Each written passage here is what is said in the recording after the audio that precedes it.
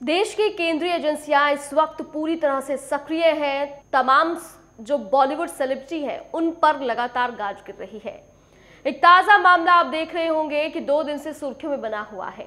Mahadev online gaming app money laundering मामले में बॉलीवुड के कई स्लैब्स ईडी ने नोटिस जिन्हें भेजा है। अब तक इस केस में ईडी ने चार लोगों को गिरफ़्तार भी किया है। जिसमें दो सगे भाई सुनील दम्मानी, अनिल दम्मानी, छत्तीसगढ़ पुलिस का एएसआई चंद्रभूषण वर्मा और सतीश चंद्राकार शामिल है। अब देखिए, महादेव बैटिंग ऐप को दुबई में बैठकर छत्तीसगढ़ के भलाई के रहने वाले सौरभ चंद्राकार और रवि अप्पल ऑपरेट करते थे। करोड़ों रुपए के लेन देन यहाँ पर होते थे। इसके लिए मलेशिया, थाईलैंड, हिंदुस्तान, यूएई में अलग अलग बड़े शहरों में कॉल सेंटर खोले गए थे, जिसके ज़रिए अलग अलग सब्सिडी ऐप बनाकर ऑनलाइन सट्टा खिलाया जाता था।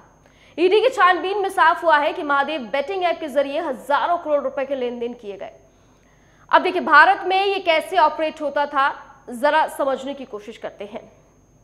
यूएई में बैठकर कैसे सौरभ चंद्राकार और रवि उपल पुलिस, ब्यूरोक्रेट्स और पॉलिटिशियंस का एक नेक्सस तैयार कर महादेव बेटिंग ऐप को हिंदुस्तान में ऑपरेट कर रहा था। हिंदुस्तान में छत्तीसगढ़ समेत कई अलग अलग राज्यों के बड़े शहरों में महादेव बुक ऐप के करीब 30 कॉल सेंटर खोले गए।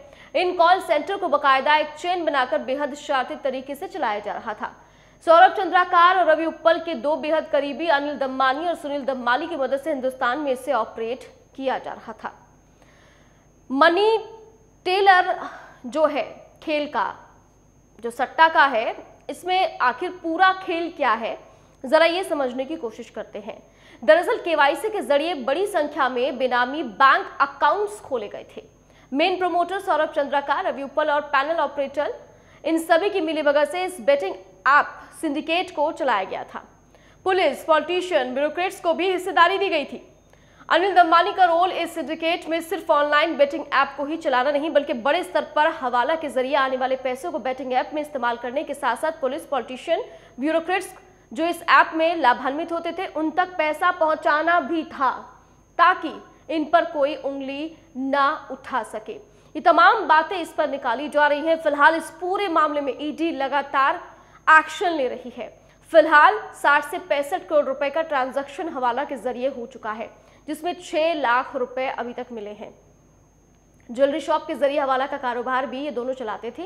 इसके सीडीआर से पता चला है कि दोनों भाई अनिल और सुनील यूए में बैठे रवि उप्पल के लगातार संपर्क में थे और जो एसआई चंद्रभूषण वर्मा था, उसके राजनीतिक संबंध थे। हिस्सेदारी थी ताकि किसी को ना पता चल पाए। और नाम देखिए, महादेव ऐप इसका नाम रखा गया। पाँच फ़ीसदी की हिस्सेदारी है।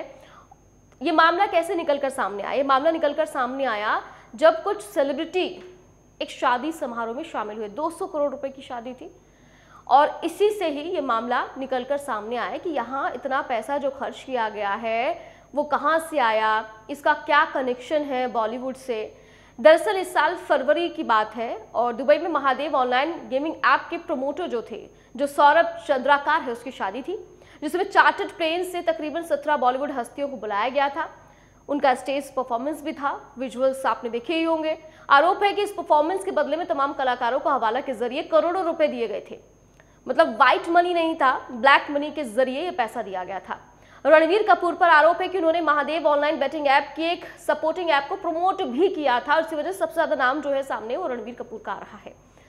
उन तमाम कलाकारों को जो वहाँ परफॉर्मेंस में शामिल थे, उन्हें जाँच के दायरे में शामिल किया गया है, यानी कि जो ईडी की तलवार है वो इन तमाम स्लैब्स पर अभी लटकी हुई है। इसमें क्या कुछ और खुलासे होते हैं, इस पर नज़र बनी रहेगी।